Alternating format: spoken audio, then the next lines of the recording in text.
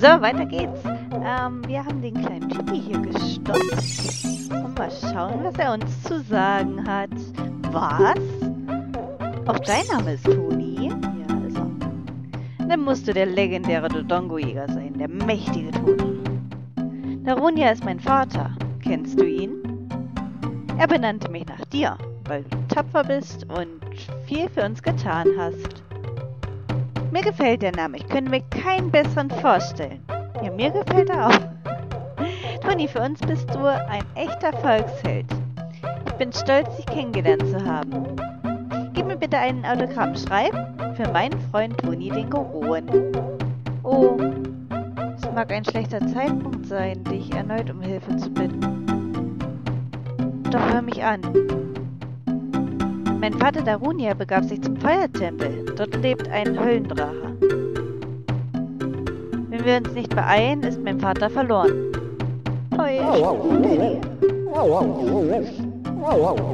Du sollst ihn beruhigen, wenn du kannst.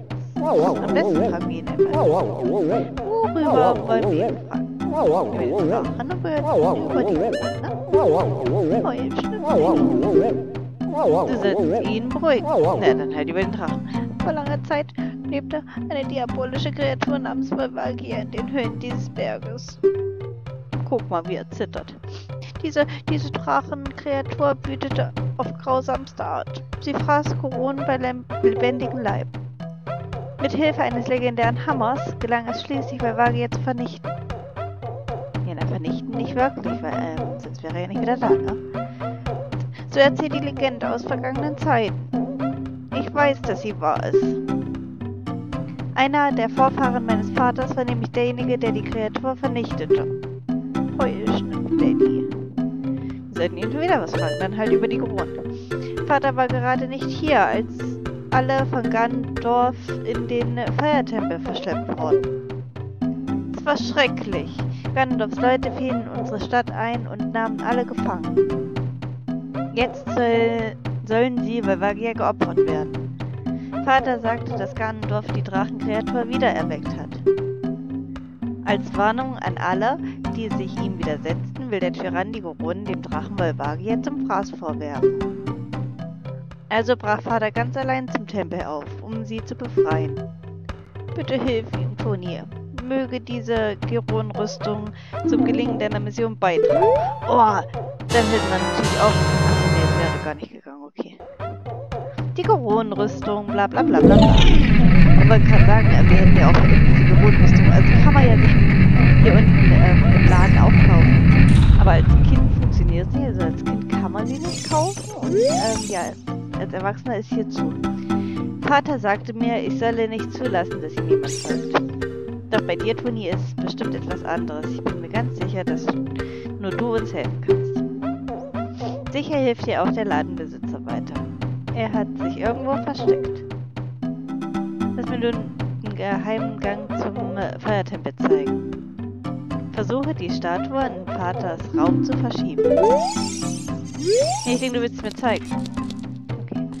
Ähm, ja, ich hatte mir überlegt, und zwar holen wir uns jetzt das Lied, womit wir ähm, dann immer zum Feiertempel gelangen. Und dann werden wir aber als erstes den Wassertempel machen.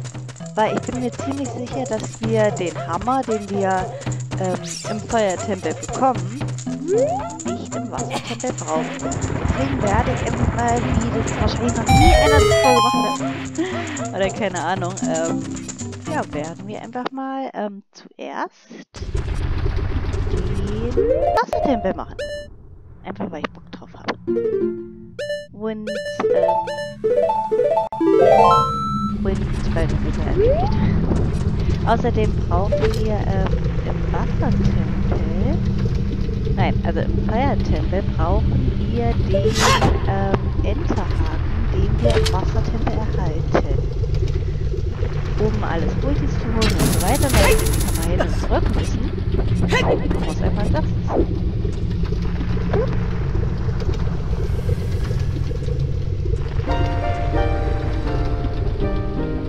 Wahre Freundschaft wächst, je länger sie besteht. Sie wächst im Herzen und wird mit jeder Minute stärker.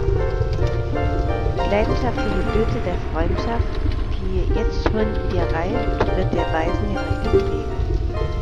Diese Melodie sei der Kraft der Freundschaft gewidmet. Lausch nun dem Bolero des Feuers. So, und auch hier wieder, ja, was ist denn eigentlich ein Bolero?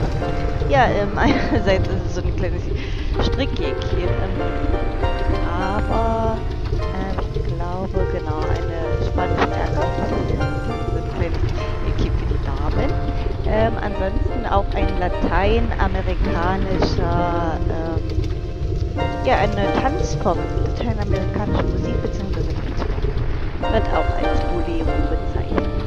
Oh,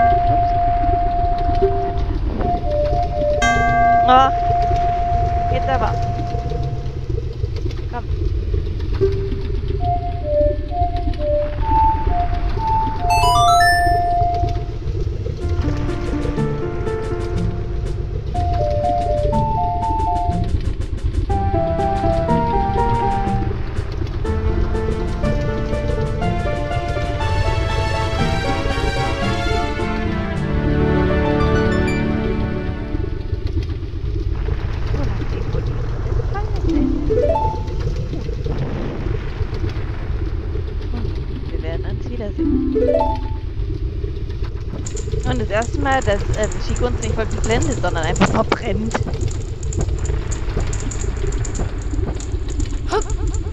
Aber er hat uns noch geblendet.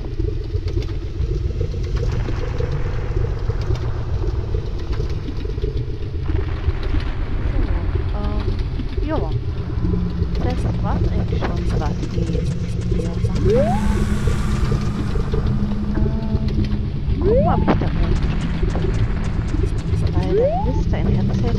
Ähm, ja, ich hätte es gleich als habe ich aber total vergessen.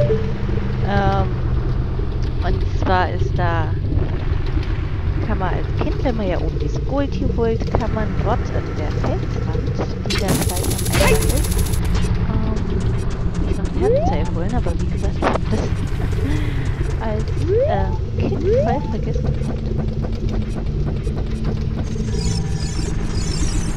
Oh, okay. Schade eigentlich. Ähm. Oh ja. Ich hatte jetzt nicht damit gerechnet, dass es ja, aber reicht.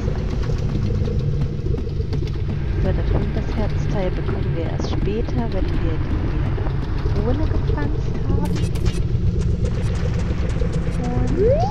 Und genau, hier ist der Ausgang, wo ja als Kind die kleine Squirty war. Der Kiste. Und hier an der Wand kann man ganz einfach runterklettern. Und das hätten wir auch als Kind schon machen können. Da wäre das Herzteil auch bloß da gewesen. Ich hatte es aber irgendwie nicht auf dem Schirm gehabt, vergessen. Und deswegen holen wir das jetzt mal schnell nach.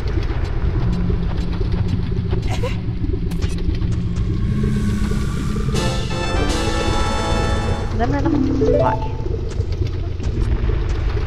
zwei. So, das heißt, wir machen uns jetzt auf zum, ähm, zum, zum, zum äh, See. Wir haben alles, ja, wir müssen jetzt weiter vorbereiten. Ja. Ähm.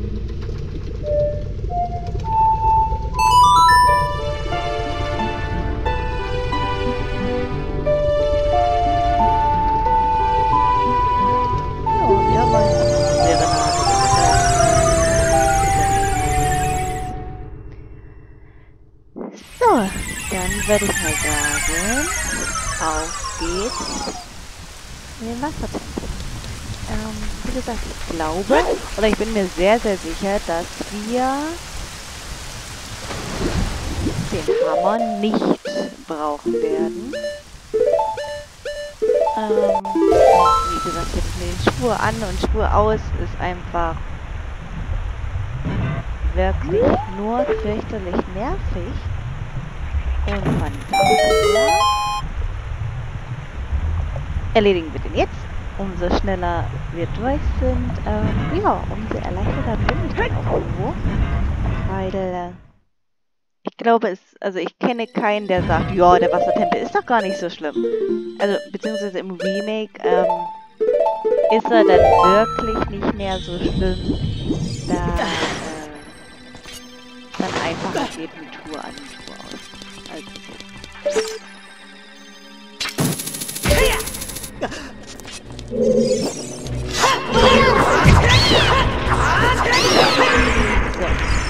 hier, ähm, ja, Navi fliegt dahin. Ähm, ich weiß, dass, ähm,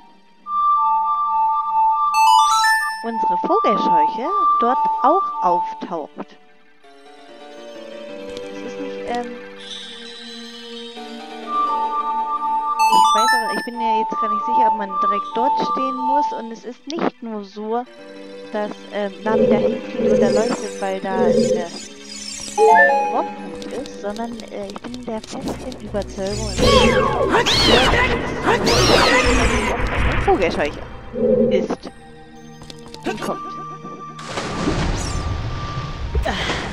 Muss hier irgendwo oben beim nicht. Wo es genau ist. Ähm. Es kann sein, dass ich hier richtig bin. Ah.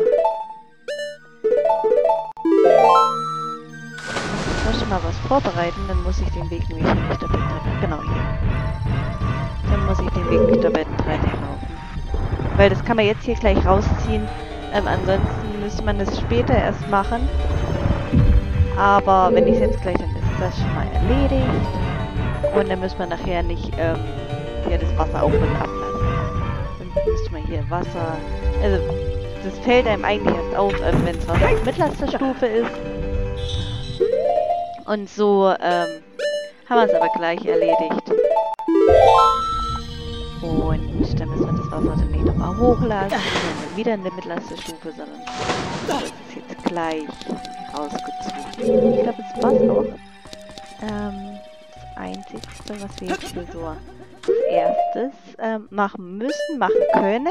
Und dann geht es erstmal nach unten.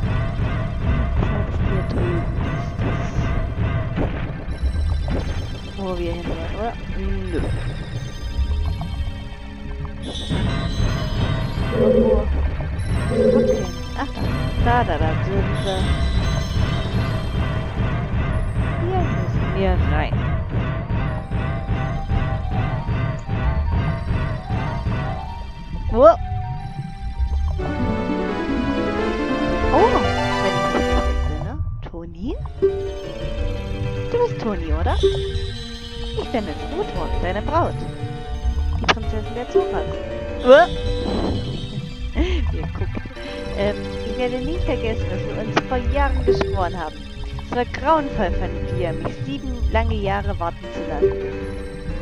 Doch jetzt ist nicht die Zeit, über Liebe zu sprechen. Es ist etwas Furchtbares geschehen.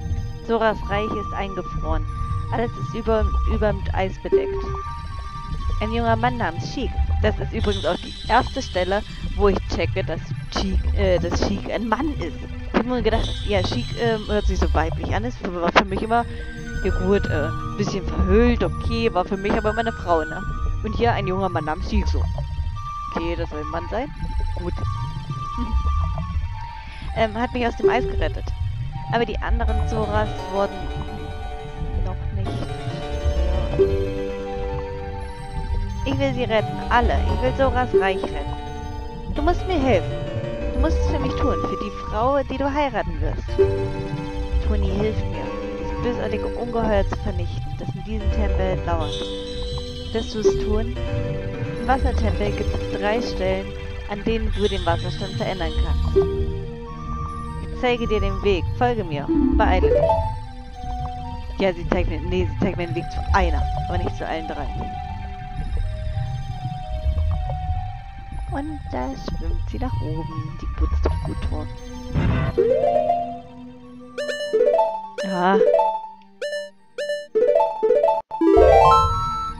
Speichere dann immer gleich noch an dieser Stelle hier. Also immer beim An- und Ausziehen ähm, habe ich mir angewöhnt, da einfach zu speichern. So, und hier ist unser erster Punkt, wo wir ähm, ja, den Wasserstand ändern können.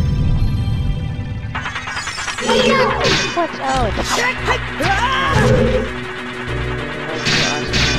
Hallo.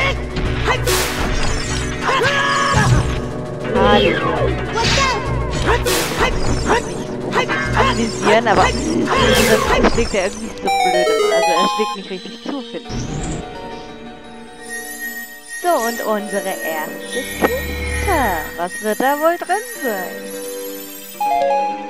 Was wird da wohl drin sein?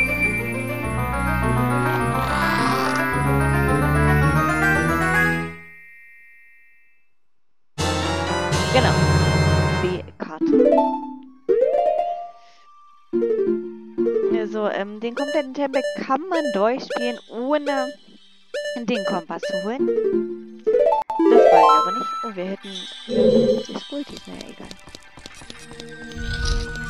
Und zwar, wir wollen alle, ähm... Ja, wollen wir alle Kisten holen? Ja, also wir, wir gucken, dass wir so viele Kisten wie möglich kriegen und so weiter, weil ich bin mir jetzt auch nicht sicher, ähm, Kisten sind.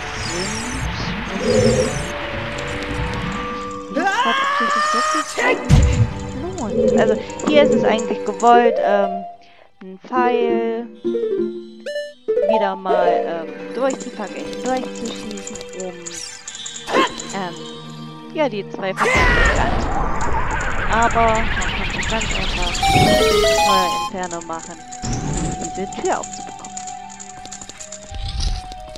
Und diese Dinger sind so absolut nicht meine Freunde. Diese Killermuscheln. Also Killermuscheln. Die waren schon früher nicht meine Freunde.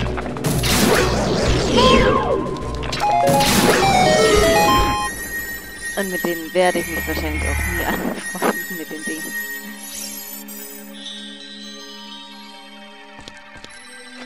Und eine kleine Kiste.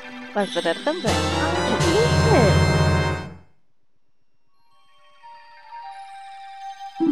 Ein Schlüssel, ein Schlüssel.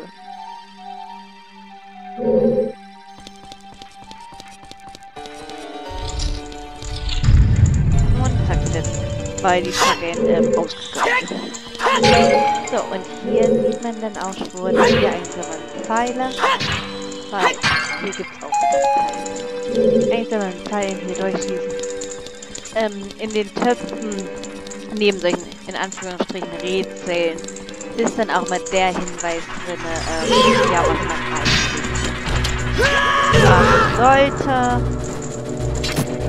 Das wird einem natürlich nicht gesagt, dass ich nicht anlassen. Oh, was, oh, oh. Hallo.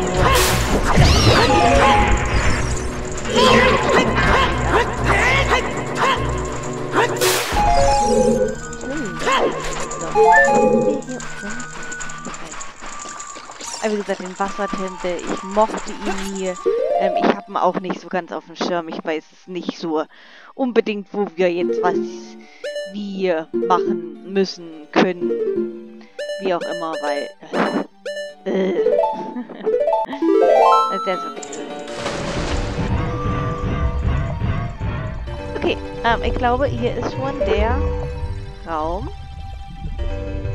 Oder?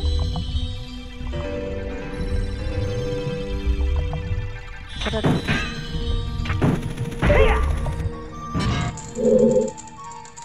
Nee, ähm, hier kommen wir erst später hin, weil, ähm, wie man sieht, kommen wir noch nicht bis rüber. Nee, nee, nee, das ist nicht der ich gemeint habe. Ähm, aber einen anderen. So, dann gehen wir mit ins Milch rein. Okay. Können wir auch schon mal reinschieben.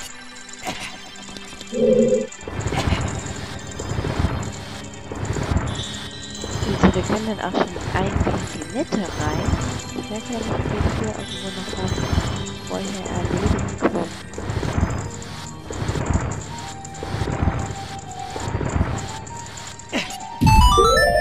Gesagt, der Wetterwetter ist eigentlich nur so lange, weil ähm, dieses blöde Schuhe an und Schuhe ausziehen immer so ewig dauert. Also es, es dauert ja vom Prinzip her nicht lange. Aber ähm, es ist einfach nervig, richtig. Verdammt nervig. Okay, wo sind wir jetzt? Wir sind jetzt dort. Aber das bringt uns gar nichts.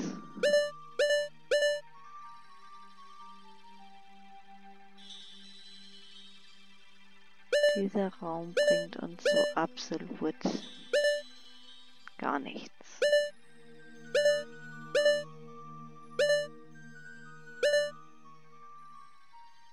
Ach, ich weiß nicht, wo wir lang müssen.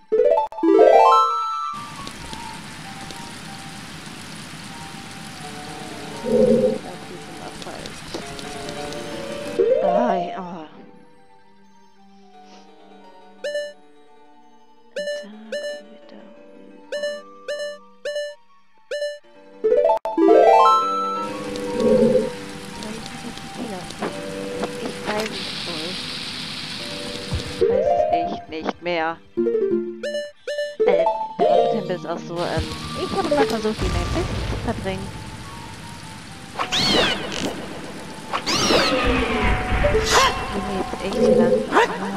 Weiß es nicht. Ich glaube, ich mache Fehler, wenn ich hier lang gehe.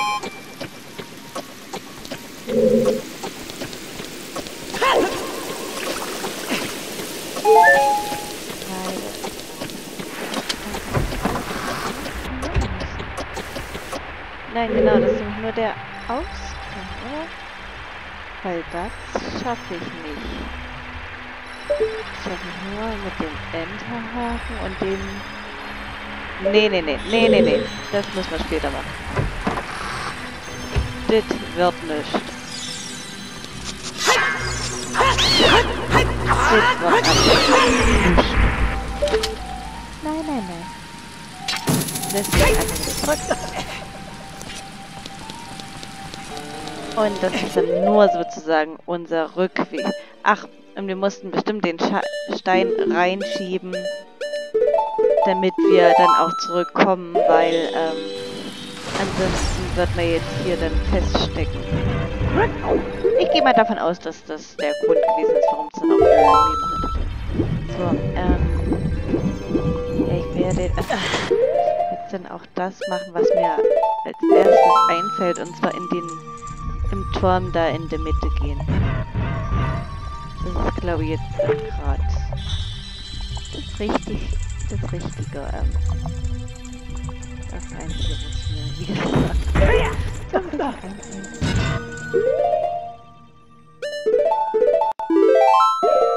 Genau, ich glaube, dafür brauche ich auch einen Schlüssel.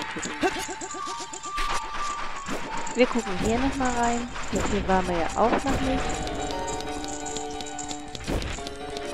was hier ähm, abgeht.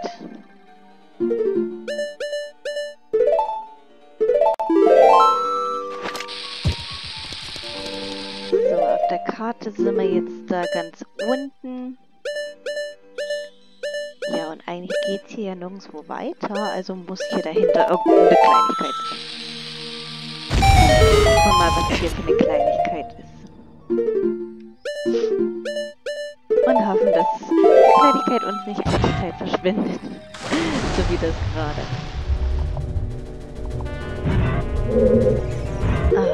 Wieder die Killermuscheln. Ähm, bei der habe ich es immer schon so gemacht, dass ich einfach die Schuhe wieder ausgezogen habe und habe sie einfach ignoriert. Ich bin über sie hinweggesprungen. Tja. Okay, ähm, hier ist gleich dass wir hier ganz einfach auf den langen Kabel brauchen, oder? Oder reicht der kurze dafür? Oh nein, das reicht. Suki. Und ich glaube, hier war auch der ein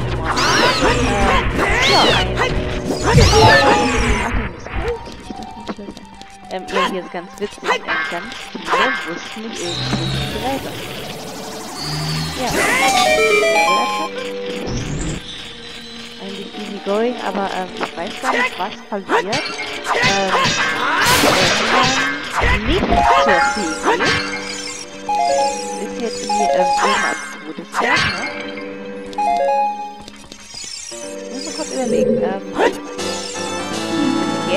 hätte ich doch keine Magie zwingenderweise gebraucht. Das heißt, wenn ich zu der Fee am Todesberg nicht gehen würde, würde ich jetzt hier nicht an den Skulti rankommen. Aber das ist gut, dass wir hier lang gegangen sind, ähm, dass es ein sinnvoller Raum war und nicht nur ähm, Sackgasse in Anführungsstrichen, sondern wir wollten hier alle Skultis holen. Und damit wäre hier schon der erste Schritt dafür getan. Und hier gibt es eine Skulti, die ich ja eigentlich immer vergesse. Immer. Aber ähm, es gibt auch immer ein erstes Mal. Und das wird hoffentlich jetzt sein. hoffentlich in diesem Run sein. Ähm, und zwar, dass dieses wohl nicht vergisst. Beziehungsweise, ähm, wird ja auch ganz einfach so sein. Ich werde wirklich darauf achten, darauf kontrollieren, ähm, dass wir alles Gultis haben, so wie es im Waldtempel war. Auch wenn man da nochmal ein bisschen rauslaufen musste, was ja nicht schlimm war. Ähm, und zwar diese da oben. Diese. Die, das Kackding da oben. ähm, ja, ich weiß nicht, ich habe die immer wieder vergessen und deswegen, wie gesagt, für mich war es dann auch nicht notwendig, weil ich habe wirklich nie drauf geachtet, ob wir jetzt alle ähm, Schulzes haben oder nicht. Für mich waren 50 ähm, wichtig, dass ich die Belohnung bekomme. Ja. Und das war's auch. Ja, ähm, nicht nur das, sondern auch, ähm, wollte ich euch erzählen, für mich macht es jetzt mehr Sinn, es so rumzumachen, als zuerst den Wassertempel, danach den Feuertempel. Aus dem Grund, weil wir in Dodongos Höhle ja auch noch ein paar Skultis ähm, holen müssen, die wir als Kind nicht erreicht haben, nicht bekommen haben. Und ich denke, dass der Enterhaken, also sich das mit dem Enterhaken einfach ähm, besser machen lässt, als mit dem Fanghaken. Ich glaube, mit dem Fanghaken ähm, kommen wir auch nicht alle. Deswegen, ähm, ja, habe ich mich endgültig dann dafür entschieden, dass wir zuerst den, ähm,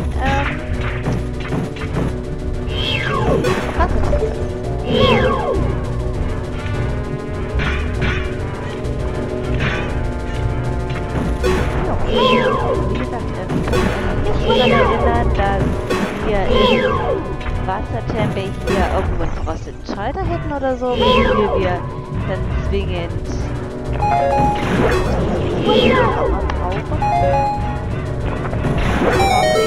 nicht eines Besseren belehrt und es ist dann doch so. Und irgendwie habe ich es auch mal geschafft, mich als kleiner Stüppi hier oben einzuschließen. Fragt mich nicht wie, aber ich habe es mal geschafft und ähm, ja, das war für den Arsch. Also, das wirklich mal geschafft, mich da oben einzuschließen. Ähm, musste halt dann speichern, ähm, hier das Spiel beenden dann sozusagen und musste den Wassertunnel von vorne beginnen. Also es fängt ähm, oben wieder an. Ich glaube, wenn man hier speichert, ist es dann auch so, dass, ähm, ich möchte wieder hier gucken. Jetzt waren wir da, ja.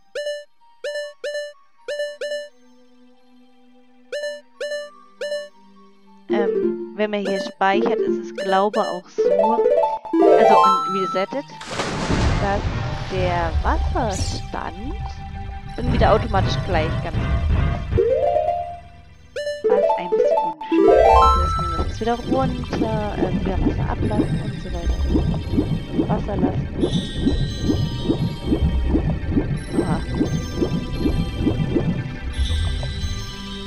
So. Aber ich finde, wir kommen schon ganz gut recht. Also ich glaube nicht, dass wir ähm, noch mehrere Parts... Also ich denke, im nächsten Part... Ich bin, äh, sagen wir es so, ich bin so zuversichtlich, dass wir im nächsten Part ähm, den Wassertempel schaffen und durchhaben werden. So, und hier ist es dann so, genau mit dem Enterhaken kommen wir dann da oben ran.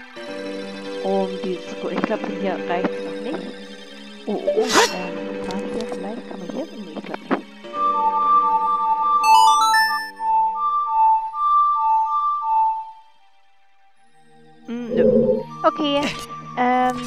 gehen wir im nächsten Part hier aus dem Turm in der Mitte wieder raus und, ähm, ja, also eigentlich will ich den Wassertempel im nächsten Part beenden. Viele sagen, dass man für ähm, einen Schattenlink, dass man da mit dem Hammer besser zurechtkommt, aber es gibt auch einen Trick mit unseren Dekonüssen. Ich hoffe, ähm, dass ich ihn so zeigen kann, wie er auch, ähm, ja, eigentlich gebraucht, also gehandhabt wird. Hoffe ich. Also, wir sehen uns dann beim nächsten Part, wo wir hoffentlich den Wassertempel beenden. Macht's gut, ciao.